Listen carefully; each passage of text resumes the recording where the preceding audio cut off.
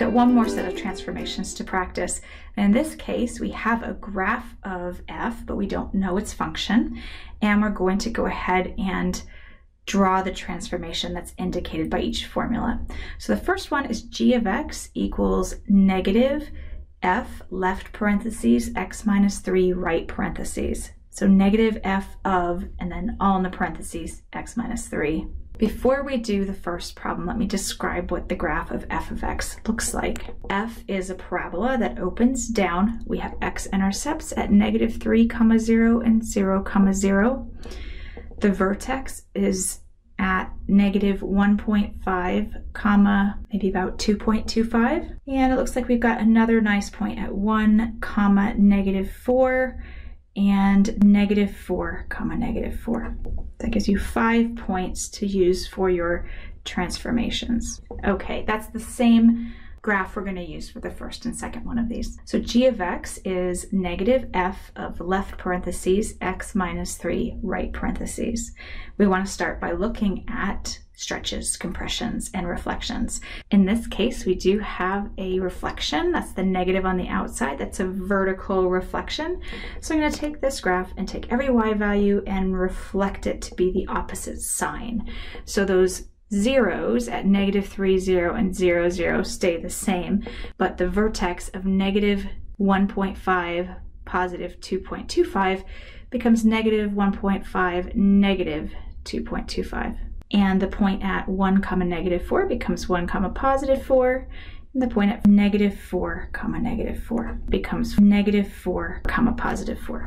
This gives me a parabola that opens up its lowest value at negative 1.5, negative 2.25. Now we do the translation, and the translation is replacing x with x minus 3. So that's a movement of 3 to the right. I'm going to pick up each of these points and move it 3 to the right. So 1, 4 becomes 4, 4.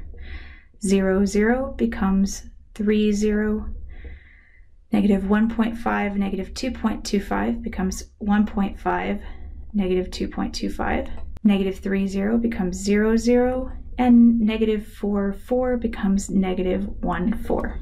So there's a parabola opening up with its vertex at 1.5 comma negative 2.25. All right, why don't you try the graph in the second column? The same graph of f of x, and now we want to find g of x equals f of left parentheses negative 2x right parentheses. Pause the video, give it a try.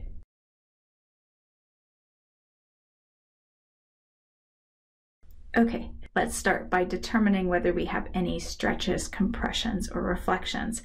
And on the inside of the function, there was a replacement of x with negative 2x. That's actually a horizontal reflection and a horizontal compression by a factor of 2. Which one do we do first? It actually doesn't matter. I'm going to do the compression first because those are the harder ones and I know my points very clearly right now. So I'm going to take every x value and multiply it by a half. Here we go. We have a point at negative 4, negative 4. When I compress that, it's going to be at negative 2, negative 4. I'm multiplying the x value by 1 half. I had a point at negative 3, 0. When I compress that, it's going to be at negative 1.50. I had a point at negative 1.5, positive 2.25.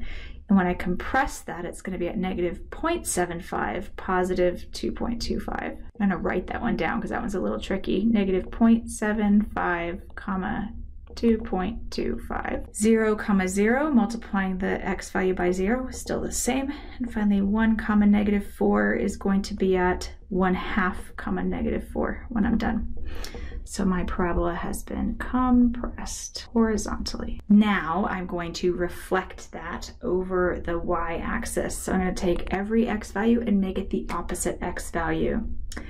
For example, 1 half comma negative 4 becomes negative 1 half comma negative 4. 0, 0 stays 0, 0.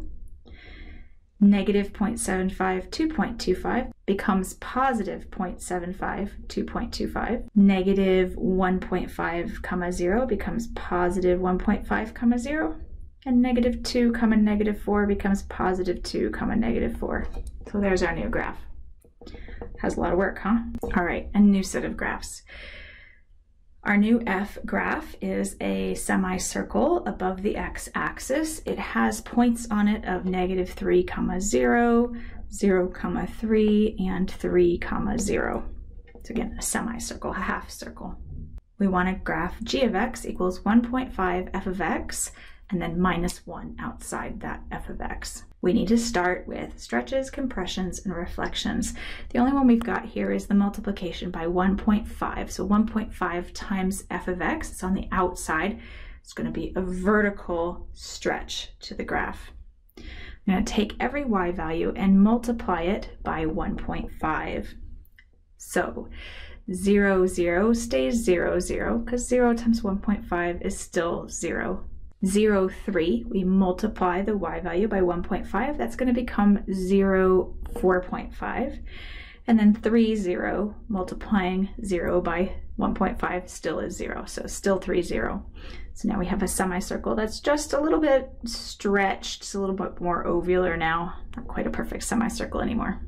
Now that we're done with that, our next thing is going to be to do the addition subtraction part. That's subtracting one. So we'll take each of those values and move the graph down one unit.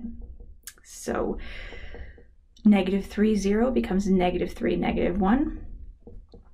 0 comma 4.5 becomes 0 comma 3.5 and 3 comma 0 becomes 3 comma negative 1 and now we have a nice stretchy half circle-ish shape.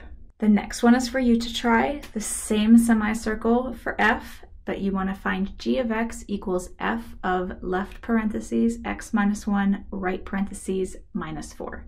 Pause the video, give it a try.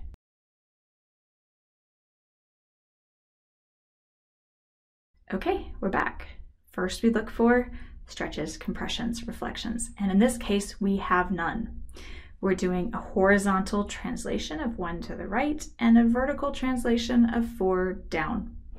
We can do those in either order. I'm just gonna start with the horizontal one. So, and actually, maybe I'll just do them both at once. I just have to remember that I'm doing one right, four down.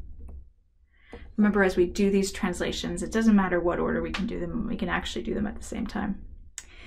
So I'll pick up every point and move it one right, four down. First point set negative 3 comma 0, moving it 1 right and 4 down puts it at negative 2, negative 4. 0 comma 3, move it 1 right and 4 down, that puts it at 1 comma negative 1. 3 comma 0, move it 1 right and 4 down, that puts it at 4 comma negative 4. So I have a half circle going through those three points the top half of a half circle, but now it's below the x-axis. All right, final set.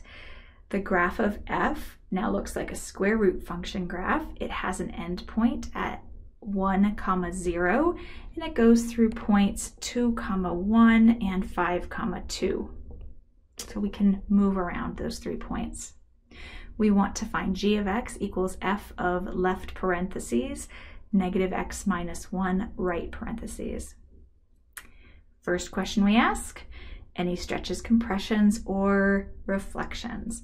And in this case, we do have a negative sitting there in front of the x. And since it's inside of the f of x, we've got to think about factoring it out, right? So this is really g of x equals f left parentheses, negative left parentheses. And when I take the negative out of negative x minus 1, I'm going to get positive x plus 1. And then right parentheses, right parentheses. So the two things I need to do are the horizontal reflection, and then that's going to be followed by replacing x with x plus 1, which is going to be a movement of 1 to the left. All right, first that horizontal reflection, we take every x value and make it the opposite x value. So 1 comma 0 becomes negative 1 comma 0. 2 comma 1 becomes negative 2 comma 1 and 5 comma 2 becomes negative 5 comma 2. There's our horizontal reflection. Now we move this graph one to the left. So negative 1, 0 becomes negative 2, 0. Negative 2, 1 becomes negative 3, 1. And negative 5, 2 becomes negative 6, 2. So there we have the new function. Last one's for you to try. Same f, it's that square root graph. And g of x equals negative f of left parentheses, negative x right parentheses. Pause the video, give that one a try.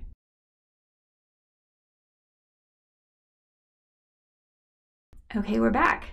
Hopefully you recognize that you've got a vertical reflection and a horizontal reflection here. And it doesn't matter which order you do them in, but I would probably do them one at a time just to be safe. So I'm gonna start by doing the vertical reflection. So that's gonna take one comma zero and reflect the y value. So that's the same, still one comma zero. 2 comma 1 reflected is going to be 2 comma negative 1 and 5 comma 2 reflected vertically is going to be 5 comma negative 2 so there's the vertical reflection now I'm going to do the horizontal reflection. So I'll take every x value and negate it. So 1 comma 0 becomes negative 1 comma 0 2 comma negative 1 becomes negative 2 comma negative 1 and 5 comma negative 2 becomes negative 5 comma negative 2. And we have the final function there. To recap, the most important thing you do is first look for stretches, compressions, and reflections, both in the x direction and the y direction. Those have to happen first, but the order of them does not matter.